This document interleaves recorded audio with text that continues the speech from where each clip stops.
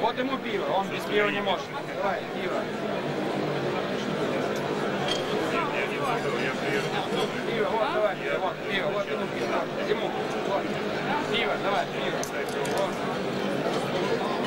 С удовольствием. Самых разных сторон. Я с удовольствием всегда ваши смотрю, когда ваши передачи, и всегда готов, так сказать, контактировать.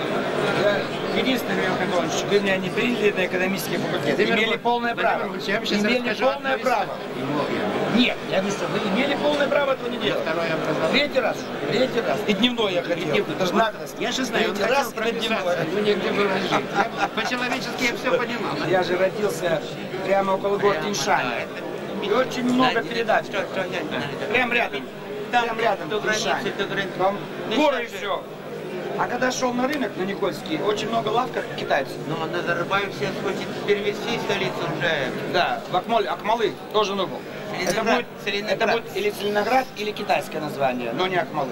Акмалы это не будет никогда. Ну, а это казахская? Это по-казахски. Эрнст Тельман. Что он? Тельманы все. А? Сказал, что нужен пьяный, а обсудит завтра с вами. Хорошо. Кто пьяный? Да тот ваш хозяин. Какой? шеф. У нас нет таких. У нас пьяных не бывает.